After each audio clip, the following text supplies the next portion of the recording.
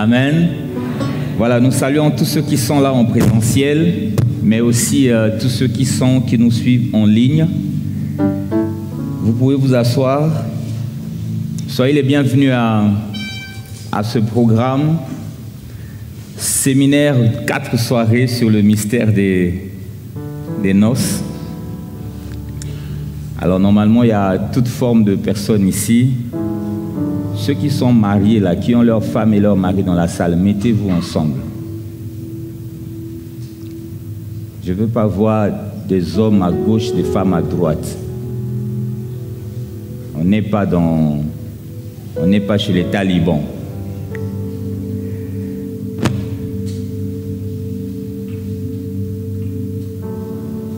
Amen. Pendant ces quatre soirées, par la grâce du Seigneur, nous allons défendre un thème important. Un mariage épanoui, c'est encore possible. Un mariage épanoui, c'est encore possible. Alléluia.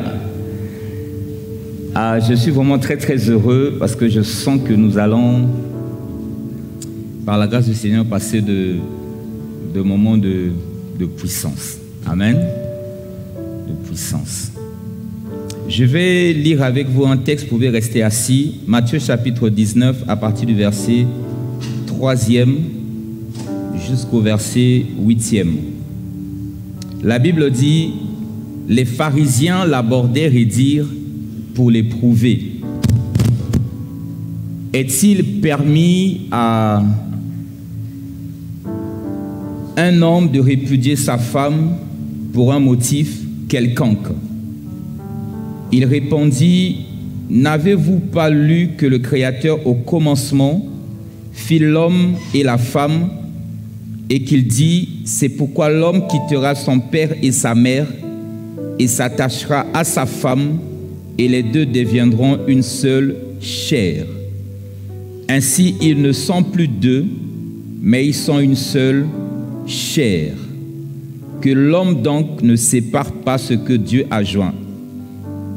Verset 7. Pourquoi donc lui dire-t-il, Moïse a-t-il prescrit de donner à la femme une lettre de divorce et de la répudier? Il leur répondit, c'est à cause de la dureté de votre cœur que Moïse vous a permis de répudier vos femmes.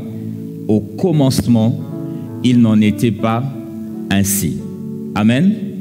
Amen. Gloire à Jésus. Alors, euh, je déplace mon micro qui est en train de, cracher. J'espère que là, il ira beaucoup mieux. Euh, sinon, on va me le changer. Le sous-thème que nous voulons aborder ce soir est les divergences qui font la différence dans un couple épanoui les divergences qui font la différence dans un couple épanoui. Entendez différence ici, euh, pas différence dans le sens de, de, quelque chose qui se sépare, une disparité, mais qui, qui font la différence. Amen. Lorsqu'on parle d'une qualité extraordinaire sur une personne ou sur un groupe, on dit c'est cette qualité-là qui fait la différence, qui les différencie de ceux qui sont ordinaires. Amen. Amen. Donc là, je suis en train de parler des divergences qui font la différence dans un couple épanoui. Amen. Amen. Dites encore Amen. Alors, euh, pendant quatre soirées, nous allons aborder trois, trois, quatre sous-thèmes différents que je vais énumérer ici. Premièrement, donc ce soir, nous parlons des divergences qui font la différence dans un couple épanoui. Demain, nous parlerons de la place de l'amour dans le mariage. La place de l'amour dans le mariage. Et le troisième jour, nous parlerons des éléments déclencheurs d'épanouissement dans le foyer. Ou encore, euh, quand le foyer devient un jardin épanoui. Amen. Les éléments déclencheurs d'épanouissement dans le foyer. Et le quatrième soir, nous allons voir les éléments qui tuent l'épanouissement dans le foyer. Ou encore, quand le foyer devient un enfer. Je prie que ton foyer ne devienne jamais un enfer. Mais pourtant, pourtant, il y a tellement de foyers qui ressemblent plus à un enfer qu'à un jardin agréable ou épanoui. Alléluia. Et si nous sommes là en toute humilité pendant ces quatre soirées, c'est pour que nos foyers ressemblent plus à des jardins, pas des jardins abandonnés, des jardins entretenus qu'à l'enfer. Et si nous sommes là aussi pendant quatre soirées, c'est pour que quelqu'un qui est là dans cette salle, qui n'est pas encore marié, qui aspire au mariage, ne fasse pas des erreurs que nous, on a eu à faire. Nous qui vous avons précédé, on a eu à faire certaines erreurs parce qu'on n'a pas eu la grâce de nous asseoir et puis qu'on nous explique ces choses. Vous avez la grâce, profitez-en. Amen. Ça fait 23 euh, ans que je suis passé devant l'officier d'état civil avec mon épouse. Et en 23 années, donc si vous comptez le nombre d'années derrière où nous vivions ensemble, on s'était connus avant. Bien entendu, on s'est mariés quand on a connu le Seigneur, mais on se connaissait déjà bien avant. Euh, dans ces années-là, on a tout vu. Amen. Et ma prière est que pour la plupart d'entre vous, que vous puissiez comprendre plus tôt ce que nous, on a compris assez tard. Que ce soit ceux qui sont mariés, jeunement mariés, que ce soit ceux qui ne sont pas encore mariés. Si nous sommes là ce soir, c'est pour vous aider à comprendre plus tôt ce que nous, on a compris. Pas trop tard, parce qu'on a compris quand même, mais assez tard. Alléluia. Amen. Alors, donc, nous sommes en train de parler ici d'un contexte qui est important. Moïse, pardon, le Seigneur Jésus, qui est confronté aux pharisiens. Alors, c'était un exercice auquel il était vraiment habitué, que les pharisiens viennent le confronter, des fois euh, parce qu'ils voulaient connaître un certain nombre de choses, mais en général, c'était pour l'éprouver. En général, c'était pour trouver des failles pour l'accuser. Amen. Donc, ils viennent voir Jésus et lui posent la question est-ce qu'il est permis à un homme de répudier sa femme? Et le Seigneur leur dit non. Alors au verset, euh, au verset 7 de Matthieu 19, ils vont dire, pourquoi donc, lui dirent-ils, Moïse a-t-il prescrit de donner à la femme une lettre de divorce et de la répudier? Donc ils voulaient confronter le Seigneur à la loi de Moïse. Amen. J'aime bien la réponse du Seigneur parce qu'il ne contredit pas ce que Moïse avait dit ou ce que Moïse leur a prescrit, mais au contraire, il donne un sens à cela. Il leur répond, c'est à cause de la dureté de votre cœur que Moïse vous a permis de répudier vos femmes. Au commencement, il n'en était pas ainsi. La réponse du Seigneur est en train de nous montrer en fait que chaque fois que nous voulons parler des questions du mariage, nous devons aller au commencement. Amen. Ça veut dire que sur le chemin, le mariage ou le concept du mariage ou la compréhension du mariage a été corrompu, a été biaisé. Donc pour nous les enfants de Dieu, chaque fois que nous pensons mariage, nous voulons méditer sur les questions du mariage, le Seigneur nous donne une piste, retourner au commencement. Alors là, en l'occurrence, si je parle du contexte, on est dans, allez, que ce soit Matthieu ou bien n'importe quel évangile, tout au moins, c'est, on est après Malachie. Amen. Là, il y a quatre siècles, Dieu n'a pas parlé à, à son peuple. Amen. Mais le livre de Malachie, du prophète Malachie, nous donne une bonne indication de ce que le peuple était en train de vivre. Et c'est dans ce contexte-là que ces pharisiens sont venus trouver les choses. C'est comme ça qu'ils étaient en train de vivre jusqu'à ce que le Seigneur Jésus arrive. Ça veut dire que dans leur temps, répudier les femmes était devenu un sport national. Et la Bible dit, il le faisait sans état d'âme. Lorsque nous lisons Malachie chapitre 2, quand nous lisons les versets 13 jusqu'au verset 16e, la Bible dit, voici encore ce que vous faites. Donc là, Dieu est en train de se plaindre. Vous savez, Malachie, Dieu, il se plaignait beaucoup. Dans Malachie 3, il y a ce fameux texte que nous connaissons où il se plaint de ce que les hommes n'amènent pas les offrandes et les dîmes dans sa maison. Mais ça n'avait pas commencé là. Il a commencé à se plaindre déjà avant. Dans Malachie chapitre 2, là, il est en train de parler au couple aux hommes en l'occurrence. Il dit, voici encore, euh, Malachie 2, verset 13e, voici encore ce que vous faites. Vous couvrez de larmes l'autel de l'Éternel, de pleurs et de gémissements, en sorte qu'il n'a plus égard aux offrandes et qu'il ne peut rien agréer de vos mains.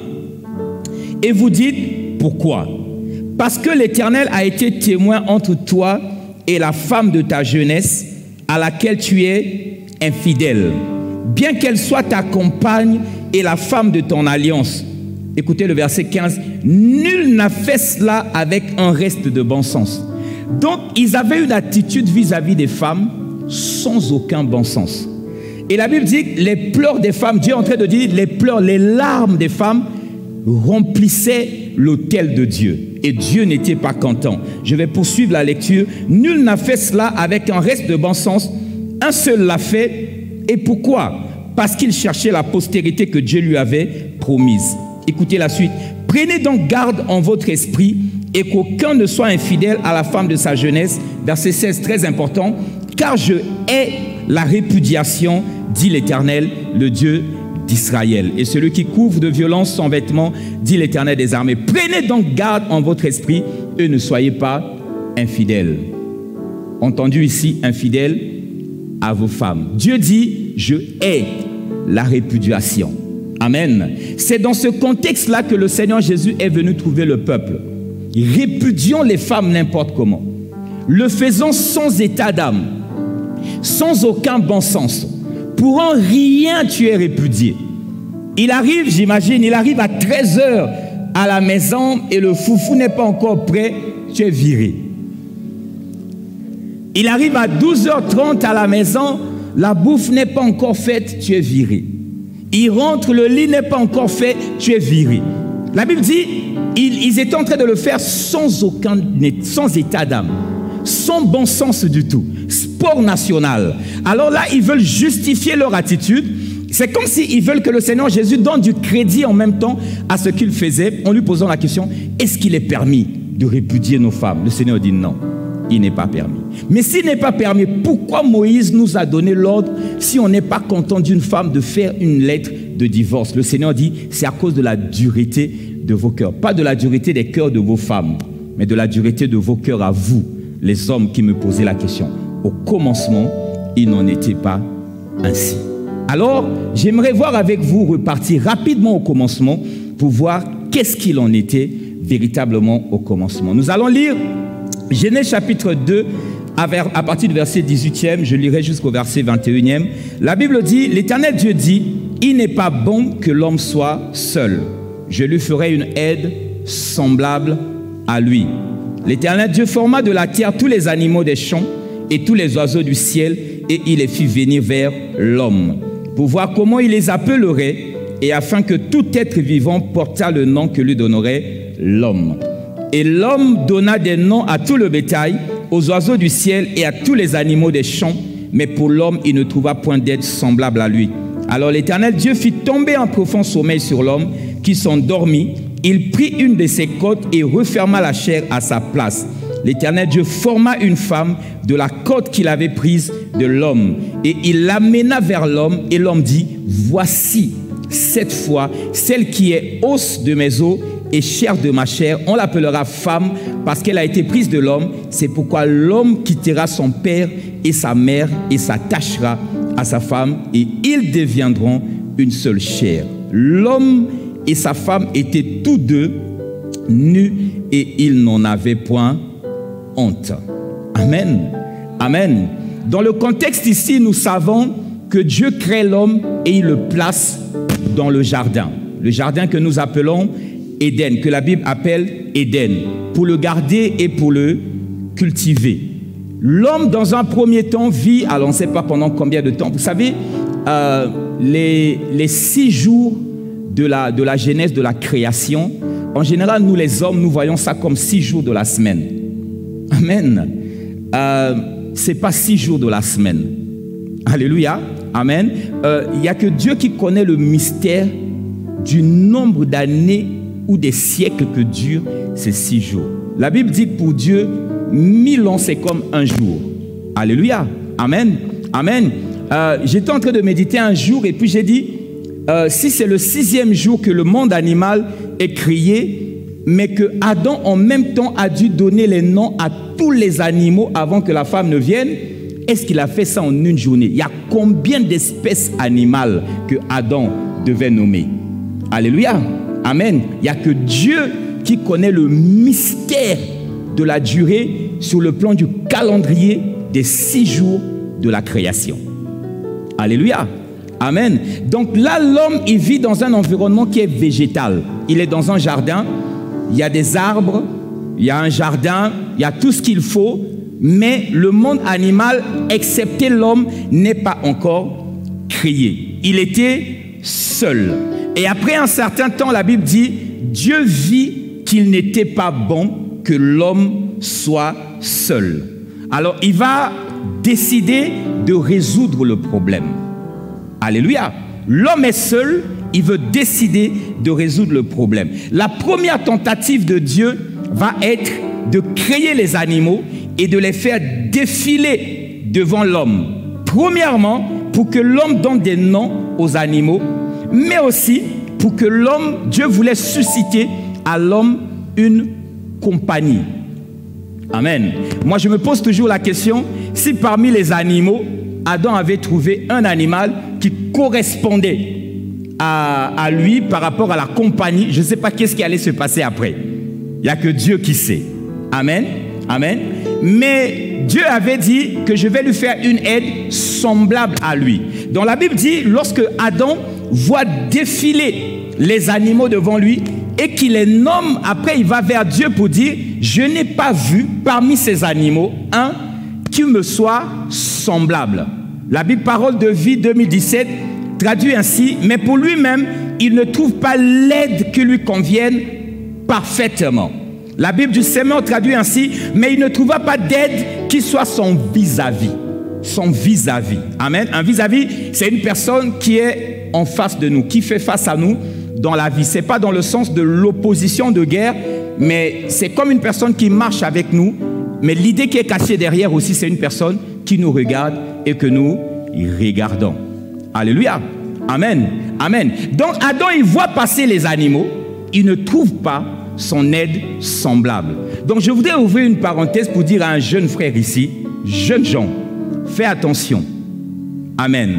Parce qu'il y a une différence où tu auras à choisir entre ta femme et les animaux. Il y a certaines qui viennent devant toi qui sont des animaux ou des bêtes sauvages. Certains ont épousé des bêtes sauvages.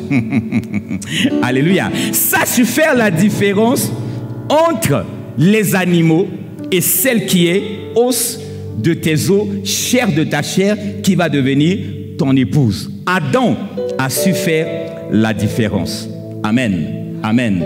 Lorsque j'essaie d'imaginer toujours avec mon imagination qui est un peu fertile, j'essaie de voir Adam qui est avec des animaux. Et puis, euh, chaque fois que, parce que la Bible dit que les animaux ont été créés mâles et femelles. Adam a été créé seul, sans femelle.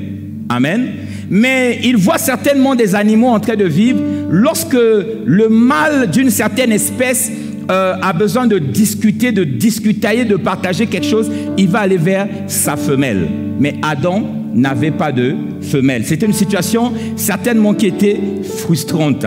Il était le patron de ces animaux, mais il n'était pas leur ami en tant que tel. Donc lui, il avait des victoires certainement euh, dans le jardin, puisque Dieu lui avait donné une mission. Il faisait un certain nombre de choses, mais il ne pouvait pas partager. Il ne pouvait pas parler avec quelqu'un. Ce n'était pas possible pour lui parce qu'il était seul.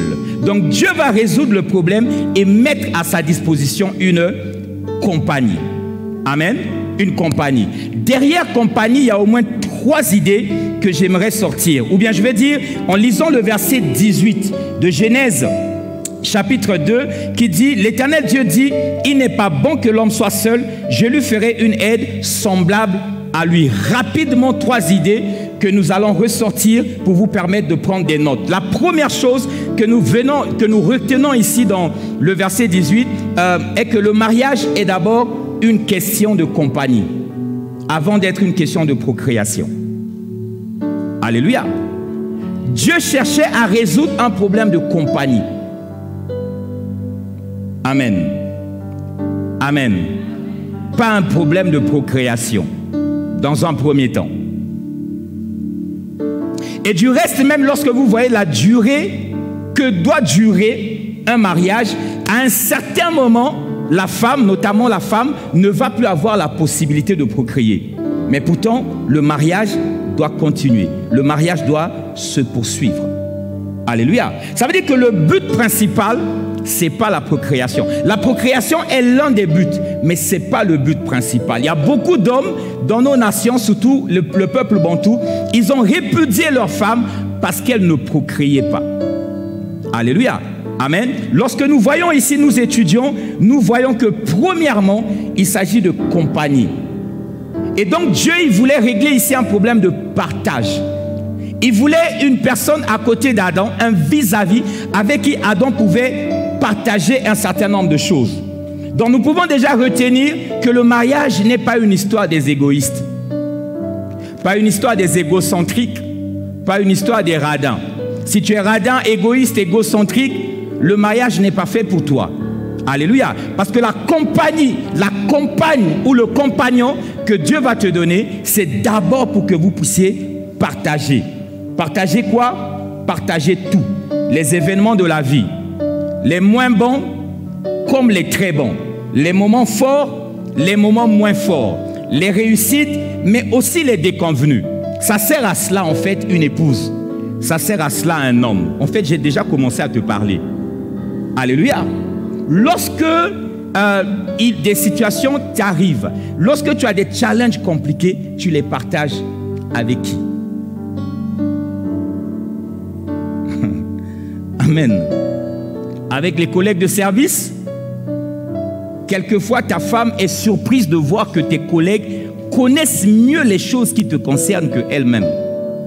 Combien de fois nos épouses, lorsqu'elles vont dans des repas des entreprises, elles sont frustrées d'avoir l'impression que les collègues de son mari, c'est comme si elles se prévalent ou elles se vantent de connaître mieux le mari qu'elles-mêmes.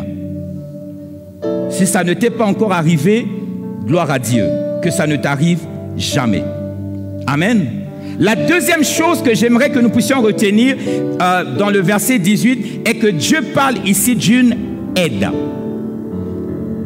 Je lui ferai une aide. Cette compagnie, ce vis-à-vis sera une aide. Et lorsque je vois aide, j'arrive à sortir au moins trois leçons à l'intérieur. La première leçon que nous pouvons retenir, c'est que si on parle d'aide, cela sous-entend que l'homme a une mission, que l'homme a une charge à transporter. Tu n'as pas besoin d'aide si tu n'es pas actif. On aide quelqu'un qui est en train de faire quelque chose, qui est en train de travailler. Alléluia. Amen. Amen. Dis bien Amen. Donc je vais m'adresser aux jeunes sœurs qui sont là, cette fois-ci à vous les jeunes filles, jeunes sœurs, Amen, qui aspirez au mariage. Lorsqu'un homme se présente à toi, pose-lui la question, quelle est la vision de sa vie? Quel fardeau Dieu a déposé dans son cœur? Où va-t-il? Quel est l'objectif de sa vie? S'il ne peut pas répondre à ces questions, fuis. Parce que tu es censé l'accompagner. On ne peut pas accompagner quelqu'un qui ne sait pas où il va. Non, chérie, accompagne-moi. Où Non, Togo Tambulara, Kili Non. Accompagne-moi quelque part. Je peux t'accompagner. Tu dois me dire où je t'accompagne. Accompagne-moi. On va où? On va faire les 100 pas. La vie, ce n'est pas un 100 pas. Ce n'est pas des 100 pas. Dis bien Ben. Alléluia. La deuxième leçon que nous pouvons tirer de aide, c'est que l'homme, en fait, ne peut pas réaliser ce travail seul. C'est pourquoi il a besoin d'une aide. Ou encore, s'il y parvient, s'il arrive à y parvenir, ça sera avec beaucoup de difficultés. Il y a un adage qui dit, euh, seul on va plus vite, mais ensemble on va plus loin. Alléluia. Donc, lorsque Dieu parle d'aide à l'homme ça veut dire que l'homme ne peut pas réaliser la mission que Dieu lui donne seul. Il a besoin d'être aidé. Amen. Il a besoin d'être aidé. La troisième chose ou la troisième leçon que nous tirons du concept aide, euh, c'est que ce vis-à-vis -vis que Dieu apporte à l'homme, c'est-à-dire la femme, vient avec quelque chose qui manque à l'homme. Si quelqu'un vient pour t'aider, ça veut dire que la personne vient te, te compléter. L'idée qui est cachée derrière, c'est qu'il y a quelque chose que tu n'as pas que la femme a et elle va t'apporter. ça peut être une capacité particulière, ça peut être une compétence, ça peut être euh, une aptitude émotionnelle, ça peut être un tempérament qui te faisait défaut, mais que la femme va venir compléter. Donc tu n'avais pas ça. Alléluia. Si je dois transporter un bidon de 25 litres et que je n'arrive pas, ça veut dire que la personne qui vient m'aider vient compléter la force qui me faisait défaut. Pour qu'ensemble nous soyons capables de transporter. Donc je déclare vraiment haut et fort, la place de la femme, ce n'est pas dans la cuisine. Alléluia. La place de la femme, ce n'est pas dans la cuisine. Si Dieu l'appelle une aide, ça veut dire qu'elle a des choses qu'elle va apporter que toi tu n'as pas. Ça veut dire aussi et surtout que nous devons arrêter de penser, parce qu'il y a une philosophie euh, de notre génération qui consiste à dire, la femme de ta vie ou l'homme de ta vie, c'est celle avec qui vous voyez les choses exactement de la même manière. C'est une illusion. Dites Amen. Dites encore Amen. La femme, pour qu'elle soit ma femme, doit penser comme moi. Non. Elle doit réagir comme moi. Non. Elle doit aimer seulement les choses que j'aime. Non. Elle doit avoir les mêmes centres d'intérêt. Non. C'est une illusion. Et malheureusement, les jeunes gens sont dans ça aujourd'hui. Non, pasteur, on ne voit pas les choses de la même manière. On n'a pas les mêmes centres d'intérêt. On n'aime pas la même nourriture. Il y a des gens même qui décident que la femme n'est pas sa femme parce que les deux n'aiment pas la même nourriture. Une aide, c'est quelqu'un qui peut venir avec des choses que toi tu n'as pas. Alléluia. L'idée qui est cachée derrière, c'est qu'il ne s'agit pas de, de, regarder, euh, dans, il, s'agit de regarder peut-être, même si on regarde, quand on regarde dans la même direction. Amen. Parce que les gens disent, ah ouais, euh, on ne voit pas les choses de la même manière. Mais on peut regarder dans la même direction mais avoir une interprétation différente de ce qu'on voit. Voilà pourquoi je suis en train de parler ce soir des divergences qui font la force, des divergences qui font la différence dans des couples épanouis. Je veux briser une illusion qui consiste à penser que l'homme de ta vie ou la femme de ta vie, vous pensez exactement de la même manière. Vous aimez exactement la même chose. Non, non, non. Non, ce n'est pas ça. Ce n'est pas ça. Parce que nous regardons dans la même direction, je peux avoir une certaine appréciation de la chose, mais ma femme va avoir une autre appréciation qui ne vient pas en guerre avec mon appréciation, mais qui vient compléter ce que j'étais en train de penser et ce que j'étais en train de voir. Une aide. C'est pas quelqu'un qui doit faire tout ce que tu fais comme tu le fais. C'est quelqu'un des fois qui doit te proposer une manière différente de faire la même chose. C'est la même chose que nous sommes en train de faire, mais je veux te montrer ou je veux t'aider à le faire d'une manière différente. Une manière qui peut-être nous fait gagner du temps. Une manière peut-être qui nous fait économiser de l'argent. C'est le même résultat à la fin, mais le procédé n'est pas le même. C'est ça qu'on appelle une aide. Alléluia. Amen. Dans les avis divergents que nous avons dans le ménage, si nous les exploitons, ils peuvent devenir une source de force, une source d'enrichissement, une source d'épanouissement. Surtout les hommes, les hommes sont très machistes. Les hommes ont le complexe de Dieu. C'est-à-dire, ils ont l'impression qu'il n'y a que ce qu'eux, ils savent qui est vraiment la vérité. Ou bien il n'y a que ce qu'eux, ils pensent qui est vraiment la vérité. Est-ce que tu crois que Dieu t'a envoyé une aide?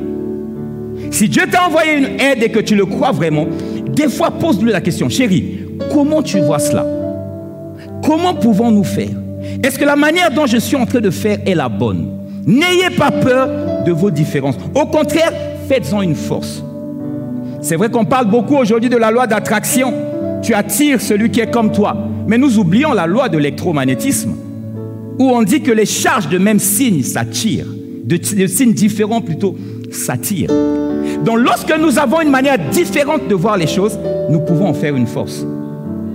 Dis Amen. Dis encore Amen. Une manière différente de voir les choses ne veut pas dire que c'est une calamité. N'ayez pas peur de vous compléter. N'ayez pas peur de vous laisser compléter. Alléluia. Je vous ai dit, je fais ce genre de séminaire pour que vous compreniez plus vite des choses que moi j'ai compris très tard. Mon épouse a beaucoup souffert. Vous nous voyez comme ça. Les gars, on a ramé. Alléluia. J'avais le complexe de Dieu. C'est-à-dire que je voulais dicter à mon épouse exactement ce qu'elle doit faire. Je voulais rentrer dans sa tête et lui dire comment elle doit réfléchir. On a passé toute notre jeunesse à danser. Et lorsque nous sommes arrivés au Seigneur, parce que moi j'avais la prétention d'être un serviteur de Dieu, je ne voulais plus qu'elle danse. Si elle danse dans un culte, je peux faire une semaine, je ne lui parle pas. Amen. J'avais l'impression que quand elle danse comme ça, on dirait quitter ses médailles. C'est comme si on est plus spirituel, parce que la femme danse trop. Un homme comme ça, tu peux, tu peux partir. Hein? Donc je bénis Dieu de ce que ma femme, parce que c'était suffisant même. Un homme comme ça, c'est pas un homme, c'est un homme pamba. Donc quand on était à l'église, on est assis, on est debout. Quand elle commence à danser, moi je danse un peu, na moi mia, moi mi et tout. Et puis quand elle est bon moi à quatre danse. Quand elle veut danser, et puis je, je la bouscule. Mais ma femme aussi, hein, elle blague pas avec elle. Hein. Ça dit tu bouscules comme ça, elle enlève la main, elle continue de danser. Parce qu'elle continue de danser, moi j'interprète ça comme si elle m'a déshonoré. Donc on va faire une semaine, je ne lui parle pas. Et elle, elle ne peut pas se rappeler que je ne lui parle pas parce qu'elle a dansé à l'église. Donc il va me dire, mais qu'est-ce qu'il y a? Qu'est-ce qui ne va pas? Moi, je n'explique pas. Hein. Je reste mon calme. Jusqu'à ce que la crise va passer. Alléluia. Donc quand vous voyez mon épouse, dites-lui félicitations. Il y a beaucoup d'exemples si je vous donne. Si vous dites, ah, le pasteur là, il était comme ça mais je préfère ne pas tout dire. Amen. Et enfin, la troisième chose que nous devons retenir du verset 18, euh, euh, alors j'ai dit la première c'était la compagnie, Amen. La deuxième c'était l'idée d'aide, et j'ai cascadé un peu un certain nombre de leçons dans l'idée d'aide. Alors la troisième est que euh, Dieu nous dit, l'aide qu'il va donner à l'homme lui est semblable. Semblable semblable. Ça ne contredit pas la force des contraires que j'étais en train de dire tout à l'heure. Lorsqu'on parle de semblable ici, euh, il y a la notion de, respect qui intervient, la notion d'honneur. Il faut que tu respectes, quand on dit respect, beaucoup de gens pensent seulement au respect que la femme doit à l'homme. C'est un respect qui est mutuel.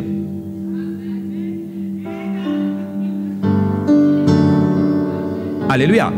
Et l'expérience a même montré que si tu es de rang élevé, tu veux être respecté, commence par respecter ceux qui te sont inférieurs.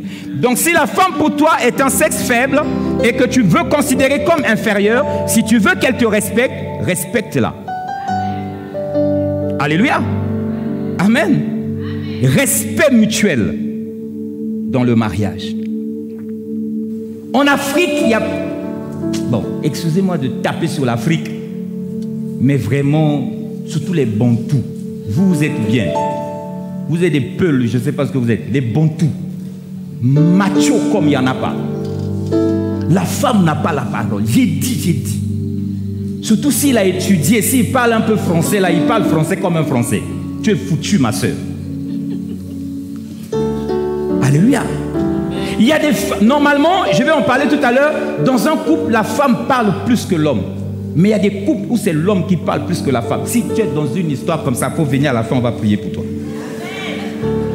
C'est-à-dire, le gars, il démarre, il est dans des phrases, dans des explications. Et puis la femme, tu es là, tu ne sais plus rien dire, tu ne sais plus rien faire. La femme que Dieu emmène à Adam n'est pas l'être que Adam doit écraser.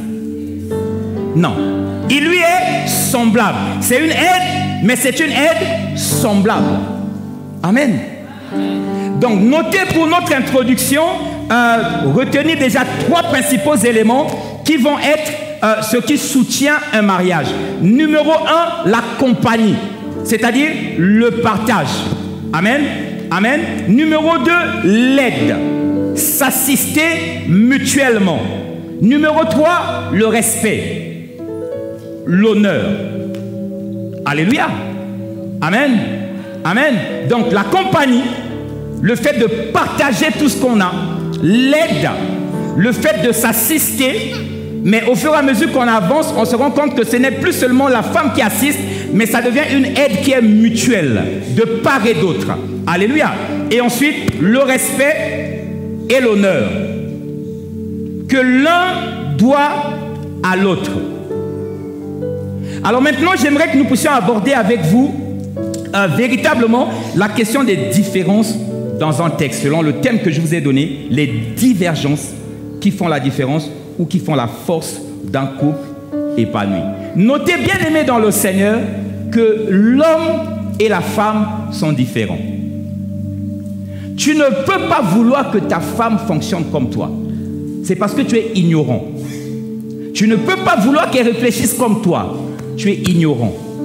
L'homme et la femme sont différents. Beaucoup de gens ont des difficultés dans les ménages parce que l'homme ne sait pas ça et surtout parce qu'il ne sait pas comment faire fonctionner sa femme. Dites Amen. Dites encore Amen. Si tu cherches à ce que, euh, tu t'attends à ce que ton conjoint, allez là, ça va être ou ta femme ou ton mari soit exactement comme toi, tu vas mourir malheureux. Ça n'arrivera pas. Dieu n'a même pas prévu que ça arrive. Donc il n'y a pas un niveau de maturité où lorsqu'on atteint ça, la femme devient exactement comme toi, tu deviens exactement comme la femme. C'est pas prévu. C'est pas prévu. L'homme et la femme sont différents et c'est la volonté de Dieu.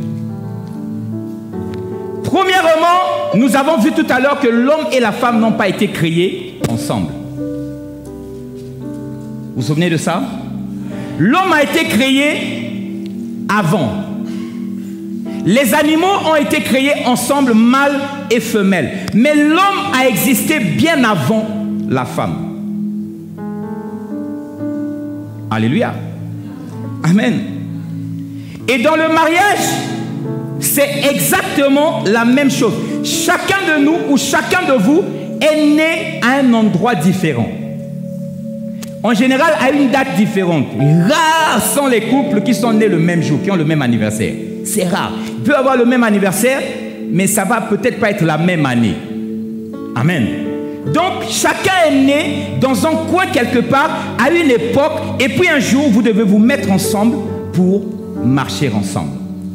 Donc, vous n'êtes pas créés ensemble. Si vous n'êtes pas créés ensemble, il n'est pas possible que vous soyez la même personne. Même les jumeaux qui naissent ensemble, qui grandissent dans la même maison, qui dorment dans le même lit, qui mangent la même nourriture, qui grandissent en recevant la même éducation, lorsqu'ils vont devenir grands, vous allez voir que ça va devenir compliqué pour les deux d'habiter ensemble. Ils vont continuer à s'aimer, mais c'est comme si la solution va être, et la nature a prévu ça comme ça, que chacun aille faire sa vie de son côté. Alléluia.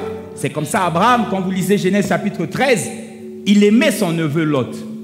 Mais à un certain moment, ils étaient en train de marcher parce qu'ils ont grandi, se sont multipliés. Et leurs leur, serviteurs, leurs bergers, commençaient à se chamailler. Abraham a appelé Lot pour lui dire, il n'est pas bon que toi et moi, nous puissions avoir des disputes. Ou bien que mes bergers, avec tes bergers, puissent avoir des disputes. Voilà ce qu'on va faire. Séparons-nous. L'espace est grand. Nous avons tellement de richesses. Nous avons tellement acquis des choses. Nous ne pouvons plus cohabiter séparons-nous tout en restant frères. Alléluia. Amen.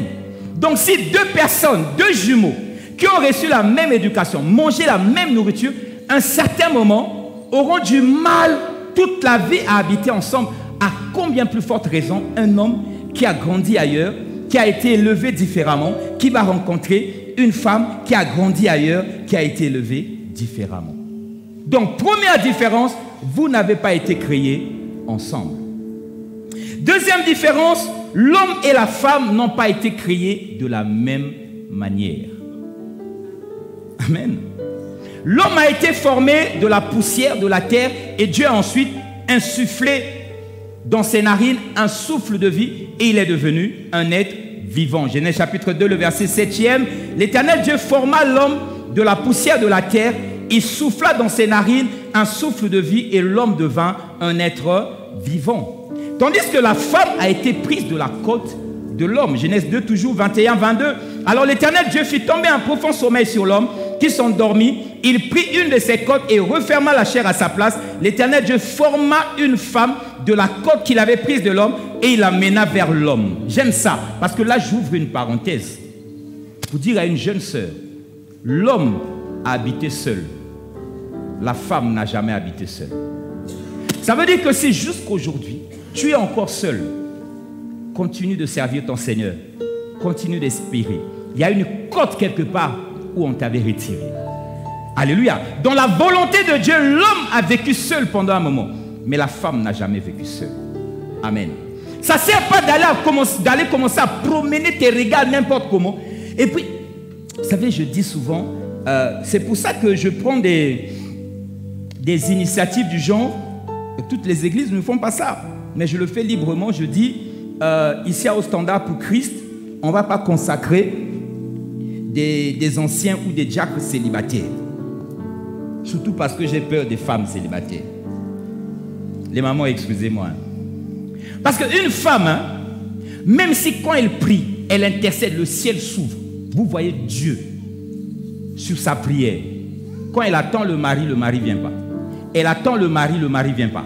Elle parle en langue, le mari ne vient pas. Elle prophétise, le mari ne vient pas. Quand elle va aller dehors là, le premier Mamadou qu'elle va rencontrer, elle va dire, c'est sûr, c'est Dieu qui me l'a envoyé. Et puis vous allez être là, si vous l'avez consacré diaconesse ou ancienne, Mbalamo Okabwe, à commissaire Aminata. Alléluia. Et puis elle vient maintenant à l'église, les talons sont noirs. De toute façon, je ne sais même pas si elle va encore venir à l'église. Donc je préfère d'abord que tu te maries. Après, je vais te consacrer. Ce n'est pas une loi spirituelle. Je préfère comme ça pour être à l'abri. Dites bien Amen. Donc je voulais réaffirmer à une sœur, la femme n'a pas existé sans l'homme. S'il y a une femme quelque part, ça veut dire que quelque part, il y a une, une côte qu'on avait retirée d'un homme pour que la femme existe. Sers Dieu, sois patient. Il y a ton Adam quelque part. Et le Seigneur te l'enverra. Tu le rencontreras. Et ça sera pas Eladj, je ne sais pas trop quoi. Ça sera frère David. Frère Jacques. Amen. Frère Constantin. Amen. Et lorsque je parle de différence, euh, de création, nous voyons aussi ces différences qui s'opèrent euh, sur le plan physiologique. L'homme et la femme, je suis en train de te dire tout ça en introduction pour que tu comprennes que tu ne dois pas imposer à ta femme d'être comme toi. Parce que Dieu vous a voulu différents et c'était un avantage. Dis Amen.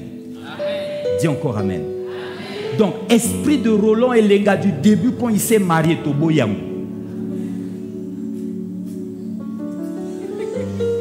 Amen. Amen. L'homme et la femme, euh, dans, la manière de procréer, sur le plan physiologique, sont différents. Quand on regarde un homme, on regarde une femme, on sait que ça c'est un homme, on sait que ça c'est une femme. Bon, aujourd'hui, des fois c'est compliqué. Aujourd'hui, des fois, je ne sais pas, il y a des hommes qui sont exactement comme des femmes et des femmes qui sont exactement comme des hommes qui ont décidé d'être comme ça. Mais ça, c'est le diable qui fait ça. C'est le diable qui fait ça. Alléluia. Je prie vraiment que tous ces bien-aimés, je les appelle des bien-aimés, tous ces bien-aimés rencontrent le Seigneur, connaissent la vérité et reviennent au bon sens. Dites encore Amen. Dites bien Amen. Donc lorsque vous allez évangéliser, ne vous empêchez pas d'évangéliser ces personnes différentes-là. Ne les livrez pas à Satan pour l'enfer. Quand ils sont encore sur la terre, Dieu veut encore les sauver. Continuez à les aimer. N'aimez pas ce qu'ils font, mais aimez-les. Parce que Jésus a donné sa vie à la croix pour eux aussi. Amen. Mais un homme et une femme sont faits pour être différents sur le plan physiologique. Lorsqu'un bébé est en train de naître, si le bébé est en train de sortir par la tête, si on voit la tête, aujourd'hui, il y a les échographies, mais des fois, les échographies trompent. On voit la tête, on ne sait pas exactement.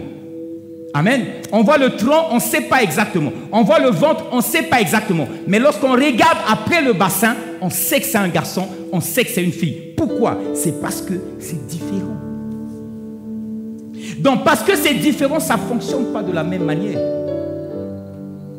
Dans un ménage, une femme peut coûter beaucoup plus cher qu'un homme. Aujourd'hui, gloire à Dieu, nos sœurs maintenant elles font les nappies. Que Dieu bénisse les sœurs nappies. Ça ne coûte pas très cher. Mais il y a des nappies qui coûtent cher avec des produits d'entretien des cheveux. Hein. Alléluia. Mais nous connaissons des hommes. Lorsque madame vient pour dire chérie, donne-moi, j'ai besoin d'argent pour aller au salon. Mais c'est quoi C'est combien?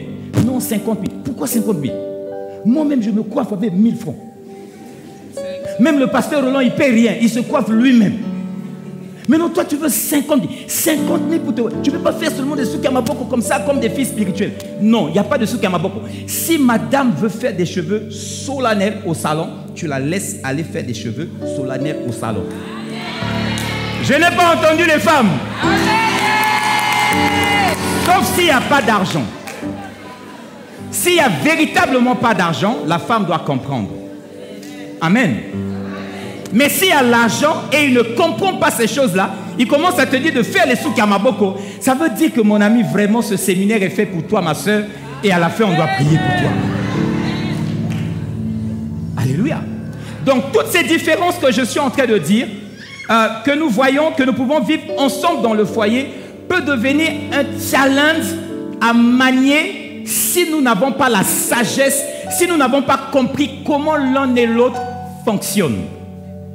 Parce qu'à cause des différences, si on n'a pas la maturité, euh, on va être en guerre. On va être en guerre. Voilà pourquoi j'en parlerai demain ou après-demain. Euh, lorsque je parle des relations, j'explique toujours que dans les relations, alors sur le plan sociologique, on parle de quatre piliers de relations, de toutes sortes de relations, dans le business, dans le ménage, ainsi de suite. Donc il y a la confiance qui est un pilier comme les quatre pieds d'une table. La confiance, euh, le respect, la connaissance de l'autre et puis l'amour. Amen. Si c'est dans le business, l'amour, ça va être l'estime de l'autre. Vous comprenez? Amen. Mais dans, le mariage, donc ça va être l'amour, ça va être le respect, ça va être euh, la connaissance de l'autre et puis ça va être euh, la confiance. Mais souvent, lorsque je pose des questions, quel est le pilier le plus important? La plupart des gens nous disent l'amour. Je leur dis non, ce n'est pas l'amour. C'est la connaissance de l'autre. Si tu apprends comment l'autre fonctionne, vous avez gagné. Alléluia. Ça veut dire que tu peux anticiper sur un certain nombre de ses réactions, mais aussi de tes réactions à toi face à ses actes à lui. Regardez, je donne un exemple tout simple. On prend un bébé, un bébé. Tu vas chez ton ami ou un collègue ou un parent, et puis il y a un bébé, un joli bébé, qui a un mois, deux mois. Tu portes le bébé, et pendant que tu le portes, le bébé euh, peut-être qu'il n'avait pas une couche bien isolante, il fait les selles sur toi, sur tes mains. Amen. Tu n'es même pas la mère ou le père de l'enfant, tu es peut-être leur ami, ou un cousin ou un frère. Mais c'est un bébé de deux mois qui fait les selles sur toi.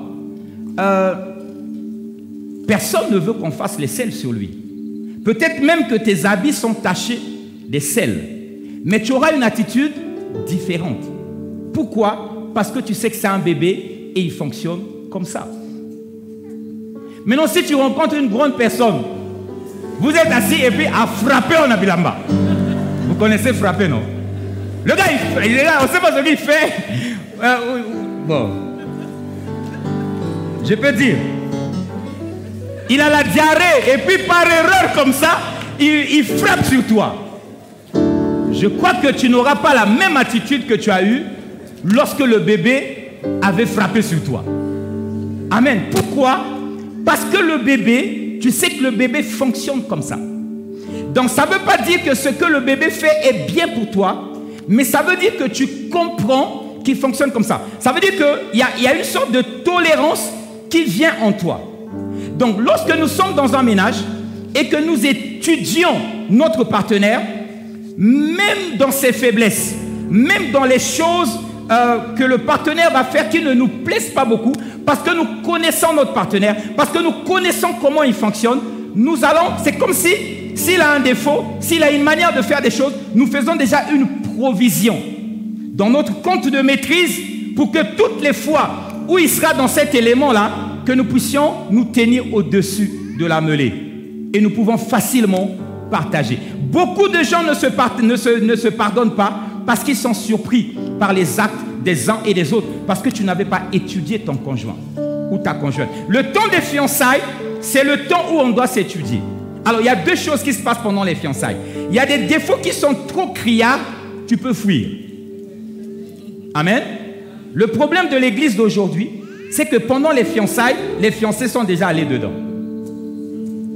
Les temps de fiançailles, on ne va pas dedans, mon ami. Hmm? Hmm? Tu n'as même pas le courage de dire Amen. Dis Amen. Avant le mariage, on ne va pas dedans. C'est ça votre problème en fait. Vous allez dedans. Et puis maintenant, quand vous découvrez des défauts, vous êtes déjà allé dedans. Si le, si le gars veut partir, tu lui dis, tu vas partir où? De toute façon, tu m'as connu là. Je ne vais pas te laisser partir. Oh. Frère, c'est ça le problème. Tu es obligé de rester là, de supporter. Mais c'est en train de dire, si les fiançailles sont propres, telles que Dieu les veut, vous voyez que lorsque Joseph a eu un doute sur la fidélité de Marie, la Bible dit, il s'est proposé de rompre secrètement pour ne pas la déshonorer. Ça veut dire que les fiançailles, lorsqu'il y a un doute, on peut rompre. Mais ça, c'est quand vous ne vous êtes pas connus sexuellement. Donc si c'est des vrais fiançailles, comme il y en a rarement ici à l'église, et je bénis Dieu parce que j'ai des enfants euh, qui sont dans cette lancée. Je bénis Dieu. Pas beaucoup. Vous croyez, on ne sait pas. Vous nous prenez pour des gens comme ça. Les gars qui sont là, ils ont roulé leur boss. Amen. Amen.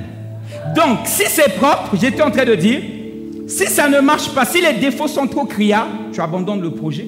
Tu dis, écoute, je pense qu'avec ça, c'est trop criard. Même si le pasteur a dit que les divergences peuvent faire la, différence, mais j'étais en train de dire, il faut quand même qu'on regarde dans la même direction. Même si en regardant la même direction, on n'analyse pas les choses de la même manière, il faut quand même qu'on regarde dans la même direction. Si on regarde des directions opposées, on n'est pas un couple. Ça veut dire qu'il y a deux visions. Et deux visions égale division. Alléluia. Oui. Donc sur le plan spirituel même, vous devez regarder exactement la même direction. Donc si ça arrive que c'est criard, je reviens encore là-dessus, tu abandonnes. Ou bien, si tu penses que tu peux gérer, alors tu vas entrer dans le ménage, mais en sachant que mon mari est comme ça, ma femme est comme ça. Ça veut dire que dans ton esprit, tu as fait une provision de maîtrise d'un certain nombre de choses, de sorte à ce que lorsqu'il est dans cet élément qui est son défaut, tu sais comprendre comme ce bébé-là qui, fait les besoins sur toi. Amen. Amen. C'est pas que tu tolères, mais tu comprends. La connaissance de l'autre, c'est vraiment une clé qui est fondamentale, qui est importante. Alors, je vais voir avec vous rapidement comment, euh, euh, comment se manifestent les différences dont nous étions en train de parler. Numéro un, ces différences se manifestent par le rôle ou le rôle que chacun joue dans l'équilibre quotidien dans l'équilibre de la maison. Et là, pour le voir, nous nous appuyons sur le processus de la procréation ou de la reproduction. J'en ai déjà parlé il y a plusieurs années derrière, certaines personnes vont s'en rappeler. Euh, dans une relation, dans le phénomène de la procréation, de la reproduction, l'homme est celui qui va être le donneur des semences. Amen. La semence ici, ce sont des spermatozoïdes. Alléluia. L'homme, il vient, il apporte la semence. Il est le donneur de semences. Mais la femme, au travers de sa matrice, va développer la semence que l'homme va déposer en elle. Donc l'homme est le donneur de semences, la femme est la développeuse. Alléluia. Amen. Parce qu'elle a une matrice. Mais le problème avec la femme, qui n'est pas un problème bien sûr, euh, qui est comme ça que Dieu l'a fait, elle n'a pas seulement une matrice physique, elle a aussi une matrice émotionnelle elle a aussi une matrice spirituelle. Ça veut dire que tout ce qu'elle reçoit, elle doit développer. Tout ce que l'homme donne à la femme, la femme développe. Amen. Il y a quelques années, l'Église existe depuis combien d'années? Neuf ans.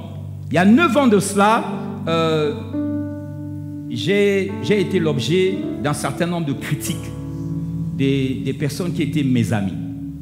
Mes amis. Gloire à Dieu, aujourd'hui, tout est restauré. Et puis, à cette époque-là, il y a neuf ans de cela, il y a un pasteur qui m'a appelé. Amen. Un pasteur de qui je rends vraiment hommage. Il était à Cotonou, il a entendu que Roland a des problèmes à Pointe-Noire. En 2013, il m'a appelé. Ce jour-là, je me rappelle, il m'a appelé pendant plus d'une heure de temps qu'on a parlé au téléphone. Alléluia. C'était le pasteur Ivan Castanou, à qui je rends hommage. Alléluia. Amen. Il m'a appelé, il m'a dit, Roland, je suis au courant de ce qui se passe à Pointe-Noire, de ce qui s'est passé dans ta vie et dans ton église. On a parlé de mille choses. Mais après, il m'a dit, attention Roland, ce qui va se passer, c'est que les gens qui étaient tes amis dans l'église d'où tu es parti vont commencer à dire des choses que tu ne reconnaîtras pas en ce qui te concerne. Il m'a dit, fais le tout possible que ta femme n'entende pas ce que ces gens-là vont dire de toi. Amen. Il me dit, parce que c'est une femme, elle a une matrice émotionnelle. Tous les amis qui sont en train de t'insulter, de te critiquer, dans quelques années, vous allez redevenir des amis, vous les hommes. Mais si ta femme a entendu ton ami t'insulter, l'ami qui était proche de toi, lorsque dans quelques années vous deviendrez des amis, ta femme aura du mal à les pardonner. Parce qu'elle, elle a une matrice. Lorsqu'elle reçoit quelque chose, elle reçoit une parole, on insulte son mari. Ça se développe au-dedans d'elle. De la même manière qu'elle prend un spermatozoïde, un élément microscopique, elle peut faire un bébé qui fait 4 kilos et enfanter. De la même manière, lorsqu'elle entend quelque chose qui la choque, elle développe ça au-dedans d'elle. Il me dit, fais attention, fais tout pour protéger ta femme. Ce n'est pas qu'elle n'est pas spirituelle, mais Dieu l'a fait ainsi. Quelle sagesse. Et ce conseil m'a beaucoup aidé. Alléluia. C'est pourquoi on a besoin d'avoir dans nos pays des hommes de Dieu qui, peuvent, qui, ont, qui nous ont précédés et qui peuvent nous aider. Dis Amen. Dis encore Amen. Lorsque je parle d'un homme de Dieu sur la chair, je sais de quoi je parle. Alléluia. Le problème de l'Église aujourd'hui, c'est que Satan entre dans l'Église, utilise les chrétiens pour que les chrétiens critiquent leurs généraux. C'est ça le plan du diable. Nous sommes au Congo-Brazzaville. J'ai fait une parenthèse, je vais la refermer. Normalement, l'Église du Congo, si on était vraiment des hommes euh, qui comprennent un certain nombre de choses, les gens comme le pasteur Ivan Castanou, on devait prier pour lui d'une façon, c'est pas possible. Alléluia. Parce que lui, il est comme une locomotive. Il rencontre des vents, c'est-à-dire qu'il inaugure des terrains. Et nous, quand on viendra, parce que lui, il est des hommes comme lui, à cause de son manteau, il est passé par là, nous, on aura la facilité après. Si on était comme un pays que je connais, qui soutient ses généraux, on n'allait pas faire ce que nous faisons. Alors si tu as haut standard pour Christ, tu n'es pas un chrétien stupide. Alléluia. Et en général, les gens parlent des gens qu'ils ne connaissent pas. Si vous les connaissiez de près, vous pourriez vous repentir. Alors, n'aie pas besoin de te repentir, n'aie pas besoin d'attendre de les connaître de près pour te repentir. Ton pasteur te dit, ne fais pas ça. Alléluia. Et donc il m'a donné ce conseil et qui du reste a été salutaire pour moi. Je ne disais pas à ma femme tout ce que les gens disaient de moi. Toutes les insultes pour la protéger. Parce qu'elle a une matrice. Toutes les femmes ont une matrice émotionnelle. Donc, bien aimé dans le Seigneur, homme, frère, fais attention à ce que tu donnes à ta femme comme semence. Toute semence, elle développe. Je donne souvent l'exemple, je dis, tu sors le matin, et puis, euh, tu vois ta femme le matin, Peut-être parce que tu voulais faire des calculs. Parce que vous savez, les hommes qui ne donnent pas beaucoup d'argent ont les tendresses. Tendresse dépasse. C'est-à-dire, chérie, chérie, chérie, chérie. Il ne donne pas l'argent. Quand va chérie? Donc le gars, il sort parce qu'il ne voulait pas donner l'argent. Chérie, oh chérie, tu es très belle ce matin. Waouh, chérie. Tu te réveilles comme ça, sans maquillage. Je n'ai jamais vu une femme sans maquillage aussi belle comme toi le matin. Et puis tu es parti. Pour toi, c'était un baratin pour qu'il ne te demande pas l'argent. Pour qu'elle ne te demande pas l'argent. Tu es parti. Mais en fait, c'est une semence. Tu as semé une belle parole dans son cœur. Et c'est parti dans sa matrice émotionnelle. Elle développe cette parole. Alléluia. La journée, elle est heureuse. Elle va au boulot, elle est forte. Elle travaille avec envie. Elle est performante. Elle va au marché, elle fait le marché en sifflotant. Elle cherche des choses agréables qu'elle va préparer pour toi. Pas les ndunda, ndunda bololo, je ne sais pas. Non, non, non. C'est-à-dire que même les ndunda bololo, si elle va acheter, mais elle va chercher des feuilles qui sont pas bien. Pas des feuilles qui sont ratatinées parce qu'elle veut payer moins cher. Parce qu'elle est en train de développer la semence que tu as laissée le matin. Et puis 17h30, dès que, c'est-à-dire qu'elle finit le boulot à 17h30. À 28, elle était déjà à la porte là-bas parce qu'elle veut vite sortir, aller à la maison, retrouver son époux. Et puis elle arrive à la maison. Elle fait rapidement la cuisine. Et le mari rentre. Le gars, il avait oublié qu'il avait laissé une semence, une bonne semence le matin. Or que la semence que tu avais déposée, la femme a développé ça. Vous comprenez, non? Donc, Erosuka Wanate, ça ne doit pas s'arrêter là. C'est-à-dire, elle a développé ça. Elle a imaginé des trucs et tout. Parfois, même quand elle arrive à la maison, elle même tenue solennelle. Parce qu'elle veut que lorsque tu vas venir la trouver, que tu la trouves bien S-E-X-Y. Vous comprenez? Et puis le gars, il vient. On lui dit, ça va chérie? Et ouais, ouais, ouais, ouais, ouais. Et puis, où est la télécommande qui est ici On donne la télécommande. Pas, pas, Ligue des champions. PSG Bayern de Munich. Le match là sera compliqué. Amen. Et puis la femme, elle rentre dans la chambre et sort. Elle rentre et sort. Elle fait semblant, elle veut attirer l'attention de son mari. Le gars, il est là. Mais Mbappé, là, vraiment, qu'est-ce qu'il est en train de faire? Mais Messi aussi, vraiment, on l'a payé cher. La femme rentre, sort. La femme te tapote un peu ici, elle passe et tout. En fait, la, chérie, je t'aime. Chérie, tu es belle. Elle a développé ça. Elle veut que ça continue ailleurs. Mais toi, tu es la Ligue des champions.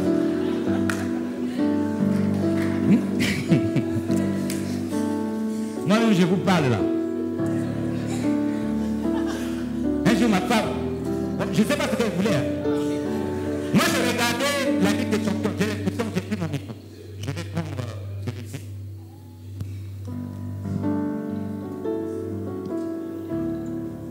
Envoyez-moi celui-là. Amen. Et donc, je suis en train de regarder. Et puis elle vient, chérie, chérie. Je dis, qu'est-ce qu'il y a? Non, je dis, là, tu vois, le match là. Le monde entier est en train de regarder le match là. Donc tu veux seulement qu'il n'y ait que moi qui ne regarde pas le match là vraiment? Et les hommes, quand tu as semé une bonne semence, il faut assumer après.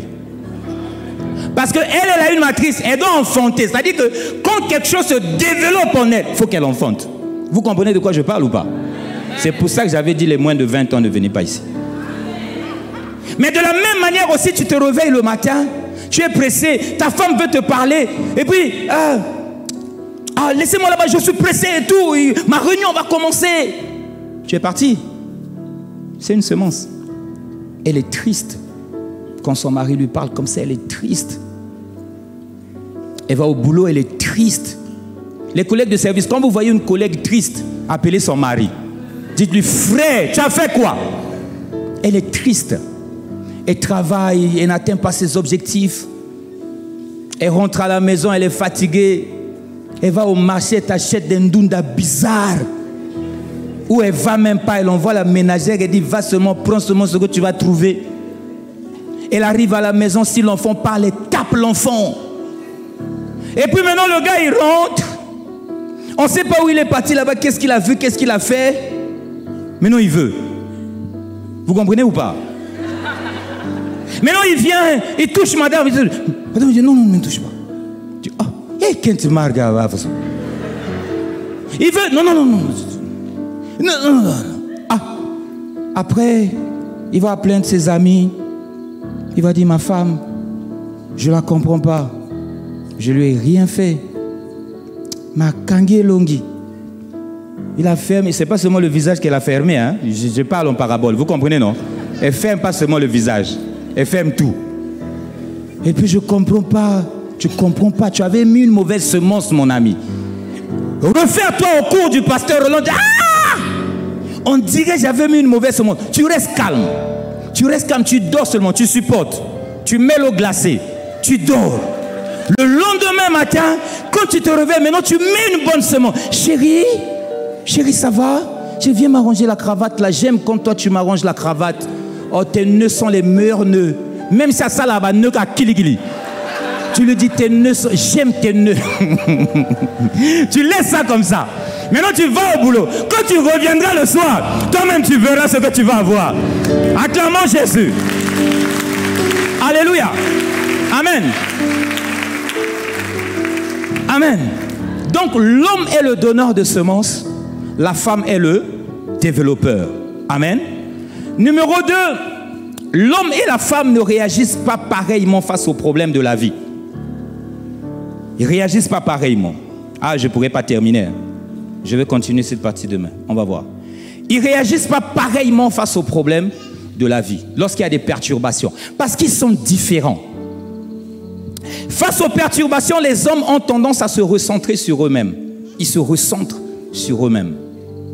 Les hommes résolvent le problème, les problèmes en réfléchissant dans le silence. Alors, je suis en train de parler des généralités. Amen. Il y a peut-être 2%, 1% où ça peut être différent. Mais la plupart des hommes, les femmes, vous devez savoir ça. La plupart des hommes résolvent leurs problèmes dans le silence. Ça veut dire que lorsqu'il est perturbé, il va au boulot, il y a quelque chose qui s'est mal passé. Quand il rentre à la maison, il va avoir tendance à être silencieux. Tu peux le voir au téléphone avec sa maman. Il parle au téléphone pendant 30, tu sens que c'est chaud. Il marche dans la cour, il parle avec sa mère. Non, on ne doit pas accepter des choses comme ça, ainsi de suite. C'est chaud, c'est un problème grave. Et quand il revient, tu dis, chérie, qu'est-ce qu'il y a? Il te dit, non, ça va. Oh, non, mais tu as parlé avec ta maman pendant 30 minutes. Non, ça va. Et puis quand c'est comme ça, la femme dit, d'accord, je te laisse. Frère, quand une femme te dit je te laisse, ça veut dire elle revient. Après, elle revient encore et pose encore la même question.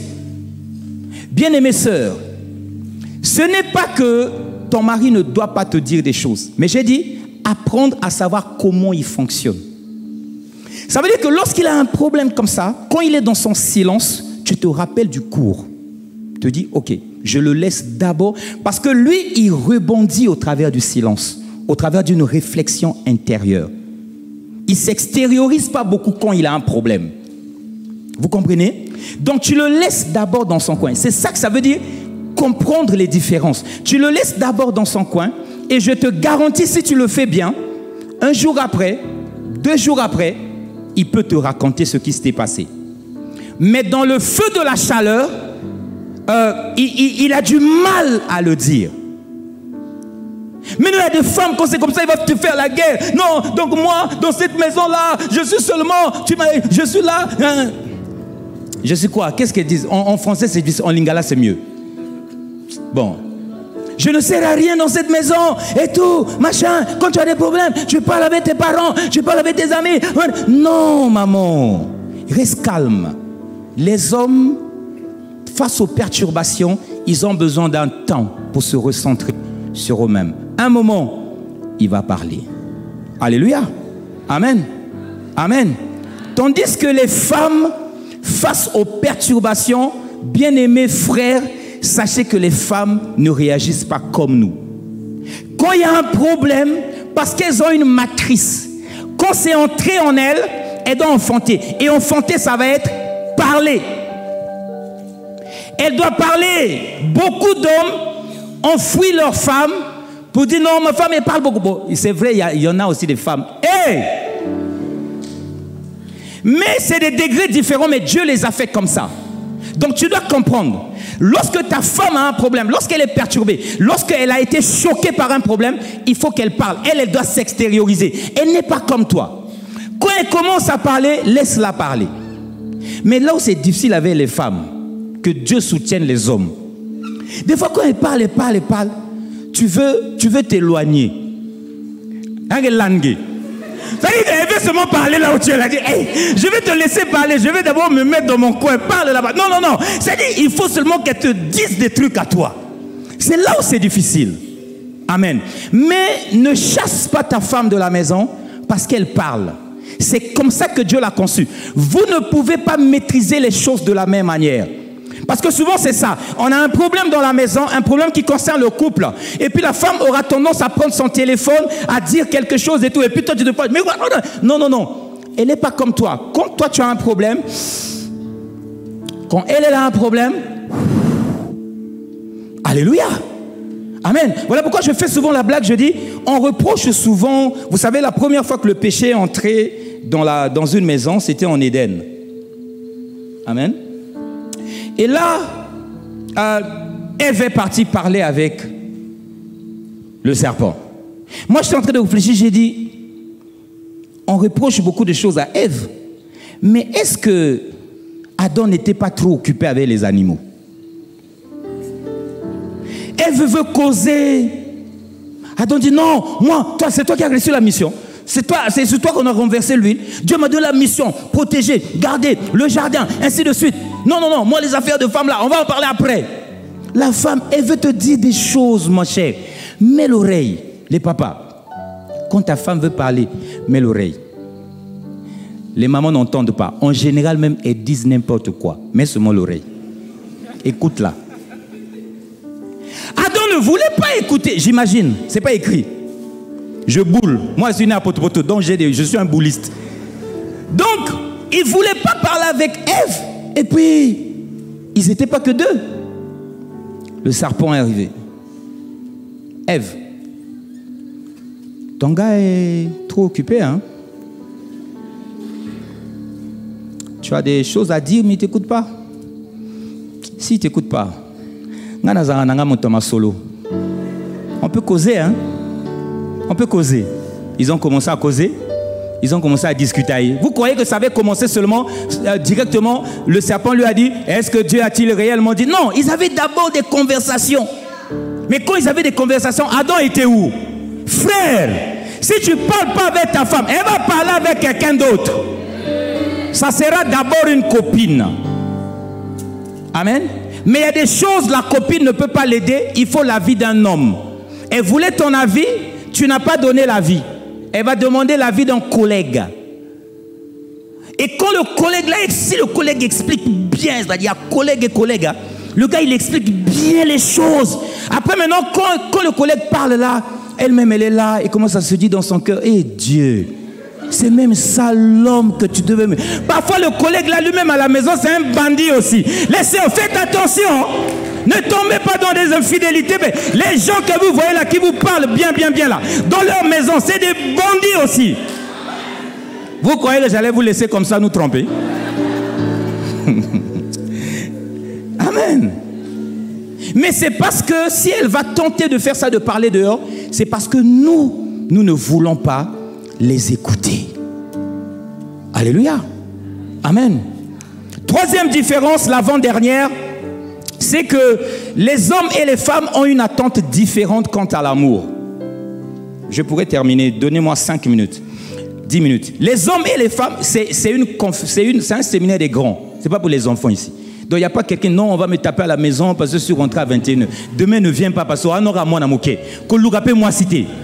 Parce que et puis tu vas là, tu embrouilles les sœurs. Donc ça c'est un séminaire des grands. On peut partir d'ici à 21h, il n'y a pas de problème. Dites amen. Dites encore amen. Numéro 3, les hommes et les femmes ont une attente différente quant à l'amour. Là, je m'adresse aux fiancés, puisqu'on a des, ou les fiancés, ou les sœurs et les frères qui ne sont pas encore euh, dans un projet de mariage, mais qui aspirent au mariage. Soyez les bienvenus à ce séminaire. Notez que les hommes et les femmes ont une attente différente quant à l'amour. Écoutez, Lorsqu'une femme dit à quelqu'un, prouve-moi que tu m'aimes, ça veut dire, elle s'attend à ce que tu sois tendre, que tu sois attentionné. Ça veut dire qu'elle veut que vous passiez beaucoup de temps de discussion ensemble. Elle s'attend à ce que tu lui offres des fleurs. Quand une femme, une femme ressent l'amour de son ami, de son conjoint, de son mari par l'attention. Euh, en 1900, euh, quand j'ai connu ma femme, c'est avant 1996. On est de tout ça, tout ça, ça la quand même. Hein. Et puis, je venais de la connaître. J'étais païen, hein, donc il ne faut pas prendre l'exemple là dans le cadre de la spiritualité. J'étais païen, elle aussi païenne. Bon, elle, connaissait Dieu avant, après elle était tombée. Chérie, pardon. Donc on était deux païens. Et puis, à cette époque-là, elle avait un peu de moyens, moi j'en avais pas. Elle m'emmenait dans les restaurants. Donc on vient de se connaître là. On vient de se connaître. Elle m'emmène dans les restaurants. Et puis, on parle. On mange. Elle me tient par la main. Ah! Et puis on parle, on parle. Après, oh, dépose-moi. Ah! Tous les soirs, on sortait. On parle, on parle, on passe. Elle, elle voulait les massolos. Moi, je voulais autre chose. Et puis, je travaille avec un grand à moi, un collègue. Il est maintenant au Canada. Je lui ai dit, vieux, vieux, tu sais que la Gola, jusqu'aujourd'hui, rien. Mon grand l'a crié. Oh, petit, Wazoba, trois semaines Trois semaines. Trois semaines, petit. Mikolo tout bobimaka. Mikolo tout. Trois semaines. Petit Wazoba. J'ai dit, viens, y'a l'ingaba ma solo. Quand une femme veut ressentir l'amour, elle veut discuter. Maintenant, on change. Mes soeurs, faites attention. Quand un frère te dit, prouve-moi que tu m'aimes, allons au lit. Ça veut dire, allons au lit. Mes soeurs, même si le frère spirituel, ce n'est pas un problème de niveau d'intercession ou de révélation. Quand un homme dit à une femme, prouve-moi ton amour, derrière, dans sa tête là, prouve-moi ton amour veut dire, let's go to bed. Ça veut dire, allons au lit. Donc quand il te dit non, tu ne me prouves pas ton amour, dis-lui, parle clair. Parle clair. Alléluia. Le problème, c'est que quand je te dis ça, tu dis, oh non, pasteur, toi, ça c'est, ça c'est le faux frère, moi mon fiancé. Et... Je te dis, même s'il est spirituel, regarde, il a juste peur parce que toi tu sais que lui il est spirituel. Mais non, fais seulement semblant. Fais semblant de lui dire, frère, moi ça fait quatre mois, je n'arrive plus à supporter. On est seulement comme ça, l'abstinence là. Fais seulement semblant. Tu vas voir, il va te dire, ah, normalement c'est pas bon. Hein? Dieu ne veut pas ça. Mais comme je dois te soutenir, euh, je ne vais pas faire pour moi, c'est pour toi. Moïbi, il avait ça dans la tête depuis longtemps. Amen. Donc, même les frères spirituels, ne soient pas trop avec lui à des endroits où vous êtes que vous deux. le gars, il va changer. Quatrième moment pour terminer, la phrase, je pouvais mettre ça dans le troisième point, mais j'ai créé un quatrième point. La phrase je t'aime ne transporte pas le même contenu chez l'homme ou chez la femme. C'est une phrase que nous pouvons prononcer, l'homme peut prononcer, la, madame, peut, madame peut prononcer, mais ça ne transporte pas le même contenu. Lorsque un jour mon épouse m'a posé la question, euh, non, c'est moi qui lui ai posé la question, qu'est-ce que tu attends de moi? Elle m'a dit la sécurité. Vous comprenez? Euh, quand une femme, quand un homme dit à une femme, ou bien dit à une femme, je t'aime, en fait, pour une femme, ça veut dire que tu dois l'entourer de sécurité.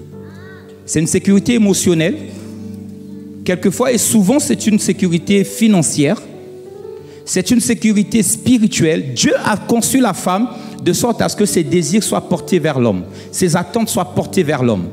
Dans la plupart des femmes, sauf les escrocs, la plupart des femmes veulent se sentir en sécurité avec un homme. Si elles ne se sentent pas en sécurité avec toi, et je dis sécurité financière aussi, c'est une sécurité. Frère, tu comprends ou pas? Dis bien Amen, frère. Financière aussi, c'est une sécurité. C'est pour ça que je dis aux frères, quand tu n'as pas la honte, viens seulement en prie, on chante ici. Arrête d'abord les histoires d'aller déranger les sœurs. Parce que la honte, c'est important dans la relation. Amen. Mais euh, les femmes, vous aimez souvent nous dire, chérie, je t'aime. Chérie, moi, je ne peux pas compter le nombre de fois que ma femme me dit, je t'aime.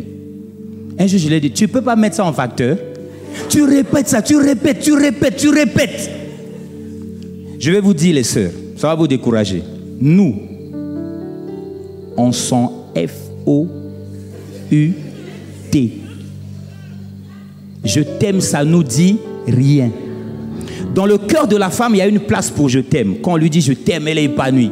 Chez l'homme, Dieu n'a pas fait un, un casier où on met ça. Ils ne vous le disent pas, mais c'est la vérité. Vous savez quoi, les sœurs? L'homme, ce que l'homme écoute, je t'aime, c'est quand tu le respectes. Alléluia. Ce que l'homme écoute, que tu l'aimes, c'est quand tu le respectes et quand tu l'honores. Si tu ne l'honores pas devant ses amis, tu ne l'honores pas devant ses parents, tu peux lui dire je t'aime mille fois dans la journée, ça lui fait que dalle, que, que, que dalle, bidri, waya, rien. Rien. Donc je t'aime, c'est bien, mais est-ce que tu respectes? Alléluia. Donc les hommes et les femmes fonctionnent de manière différente. Je vais conclure pour dire tout ce que j'étais en train de dire ne sont que des généralités. Mais ce que je veux dire en fait, c'est que chacun dans le ménage doit connaître sa femme, chacun dans le ménage doit connaître son mari pour pouvoir anticiper sur un certain nombre de choses, pour pouvoir même anticiper sur des choses, tu dois la pardonner. Alléluia. Parce que tu vis avec elle, tu vis avec lui, tu sais comment il fonctionne. Tu sais comment la faire fonctionner, tu sais comment le faire fonctionner. Si vous savez faire fonctionner vos conjoints, parce que vous savez comment ils fonctionnent, vous allez vivre heureux. Alléluia. C'est pas le truc là, je suis amoureux là. C'est pas ça qui fait que les gens y vivent longtemps. C'est pas ça. Ça c'est une réaction chimique qui vient, qui part, qui vient, qui part, qui vient, qui part. Tu l'aimes, tu le désires, la preuve, surtout les hommes. Dès que vous avez rapport sexuel là, la minute qui suit là, tu n'as même plus envie qu'elle te touche. Donc c'est une réaction chimique. Ce qui fait durer une relation, c'est la connaissance de l'autre. C'est la compréhension de comment l'autre fonctionne. Et vous allez voir des gens, vous allez dire, mais comment ils arrivent à être ensemble? Ils se comprennent. Understanding. Understanding, ça veut dire se mettre en dessous, se tenir, stand, understand, se mettre en dessous de l'autre. Alléluia. Amen. En dessous pour comprendre ce que l'autre est en train de dire. Les différences, les divergences dans un ménage sont conçues pour être une force si nous savons les mettre ensemble, si nous savons les utiliser. Que Dieu vous bénisse. Acclamons Jésus. Les chantres, revenez, on va prendre cinq minutes et puis on va partir. En même temps, tous les soirs, je vais prendre, nous allons prélever une offrande. Donc tu vas préparer une offrande. Alors arrête de faire la guerre à ta femme, de faire la guerre à ton mari parce que il ne voit pas les choses, il n'interprète pas les choses, elle n'interprète pas les choses comme toi. Si c'est vraiment ta femme, si c'est vraiment ton mari, sois humble et tu vas être capable de retrouver de la richesse dans ce qu'elle dit. Lorsque j'ai compris ces choses, j'ai juste compris que j'ai une femme extraordinaire. Alors qu'avant, j'étais en train de me dire, mais Seigneur, comment tu m'as laissé Comment tu m'as laissé dans cette affaire-là? C'est parce que je ne comprenais pas. Quand j'ai compris, j'ai juste compris que j'ai une femme extraordinaire. Alléluia. Amen. Amen. Amen. Alléluia. Donc le problème, ce n'est pas ta femme. Le problème, c'est toi qui ne sais pas la comprendre. Essaie d'apprendre à la comprendre. Les divergences, nous pouvons en faire une force. C'est ce que moi j'appelle l'enrichissement par la diversité. On peut s'enrichir parce qu'on accepte d'être divergent dans un certain nombre de choses. Parce qu'on ne recherche pas un seul avis, on recherche la force et l'union des deux avis. Qu'est-ce que nos deux avis qui semblent être contraires peuvent produire de fort? Il faut arriver là. Il faut arriver là. Et c'est Dieu qui fait ça comme ça. J'avais un problème, mon épouse, chaque fois qu'on arrivait quelque part. C'est-à-dire qu'elle arrive dans un milieu et vous ne connaît pas. Les dix minutes qui suivent, elle est devenue comme l'amie de tous ceux qui sont là. Et j'étais en train de dire, c'est quoi cette femme-là? Et moi, je lui disais, mais il faut être posé, quoi. C'est-à-dire que je voulais qu'elle soit comme moi. Parce que moi, je suis un peu, j'ai grandi dans la timidité. Donc quand j'arrive à un endroit, je suis très refermé. Mais elle est très ouverte. Donc quand j'arrive, je veux qu'on soit là calme et tout. Mais heureusement que même elle ne m'a pas écouté, hein, jusqu'à ce que je comprenne. Parce qu'on allait être un couple ennuyeux. Amen. Donc en fait, elle me complète. Je ne suis pas à l'aise tout de suite au milieu des gens. Elle est là à l'aise tout de suite au milieu des gens. Donc c'est une faiblesse que j'ai qui est complétée par la qualité de ma femme. Hier, je voyais ça comme un problème, jusqu'à ce que j'ai compris que ce n'était pas un problème, c'était un avantage pour moi. Je savais que je pouvais arriver à un endroit, je ne suis pas à l'aise avec les gens, mon épouse va mettre tout le monde à l'aise. Donc ce n'est pas un problème, c'est une solution. Regarde bien ta femme que tu penses être un problème pour toi. C'est peut-être une solution. C'est certainement une solution. J'entends une sœur dire pourquoi mon mari n'est pas là, il devait entendre ces choses-là. Moi, je ne t'avais pas dit de l'emmener ici. Acclamons Jésus.